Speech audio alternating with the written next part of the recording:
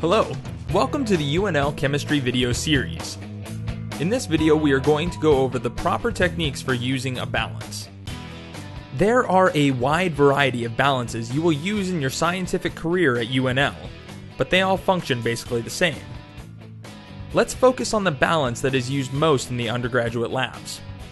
There are a few things you need to know before using your balance. The first thing you need to make sure is that your balance is properly leveled. Here is the leveling bubble on this balance. When you look at it, you will see a target, like this one, with a floating bubble inside. The balance should be leveled so that the bubble lands in the center of the target. Ask a TA to help you if your balance is not leveled.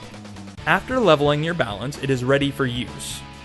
Here is the on off switch, and here is the zero button. It's also known as the tare button. To tare your balance means that you are going to set the displayed mass on the balance equal to zero.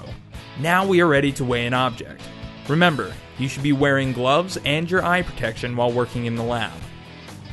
Start by turning on your balance. Then, if your balance's mass does not read zero, tare the balance.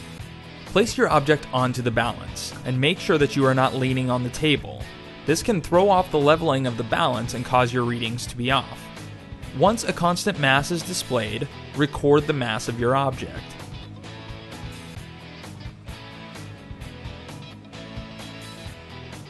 Now let's take a look at a different technique called weighing or massing by difference. This technique will be used to obtain an accurate mass of a material that you are wanting to transfer. Start by turning on your balance and placing a transfer container onto the balance. Tare your container so the mass is set to zero. Now measure out the desired amount of transfer material you need.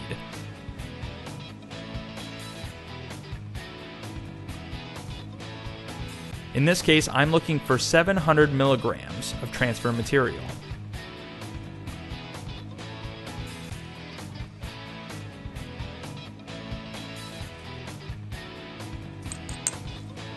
Record your initial mass into your lab notebook. Notice that this balance measures to the nearest milligram or one thousandth of a gram. Transfer your material to another container. Now place your transfer container back onto the balance. Because not all the material will come out of the container, the mass is a bit more than just the container itself. Record the final mass. Now take your initial mass and subtract your final mass. This will give you the exact mass of material that was transferred. Our previous example used a balance that was accurate to the nearest 1000th, but you may come across balances in the lab that are not as precise. Here is an example of a balance that measures to the nearest 100th of a gram. Make sure to read your experiment before lab so you know how precise you need to be in your measurements. This will help you determine what balance you need to use. And last but not least, make sure you clean up after you've used the balance. Use a soft brush to clean off any transfer material left behind and dispose of it properly. Thank you for watching this video. These techniques, when done properly, will help you obtain the best results in lab.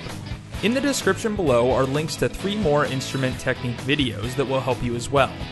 These videos include techniques with graduated cylinders, pipettes, and burettes. Good luck.